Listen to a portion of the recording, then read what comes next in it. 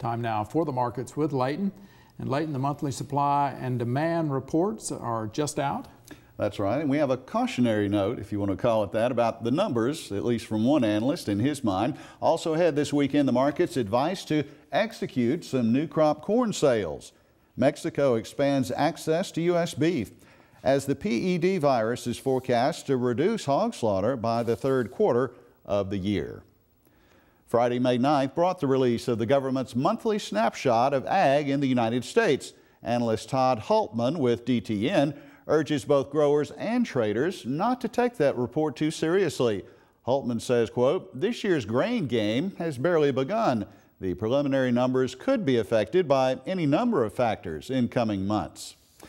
Well, U.S. corn prices are definitely better now than they were at the beginning of the calendar year. Analyst Mark Gold tells growers he would be looking to sell some new crop corn if you haven't already. 20, 25% of your forward prices into, into the fall. I'd be having some put options on for maybe another third of that. If we get the corn in the ground nationally by June 1st, I'd be buying some more puts. We're selling some more grain.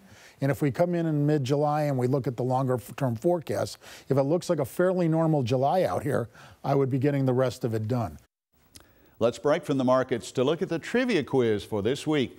May, if you haven't heard, is National Barbecue Month. So check out our question. What is the most popular meat to prepare on a grill? Is the answer chicken or steak or hamburgers or hot dogs? I'll tell you at the end of the markets.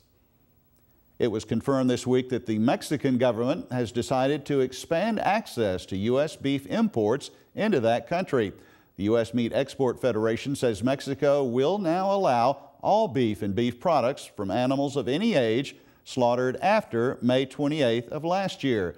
This news culminates a 10-year effort to normalize trade in beef products between the two countries.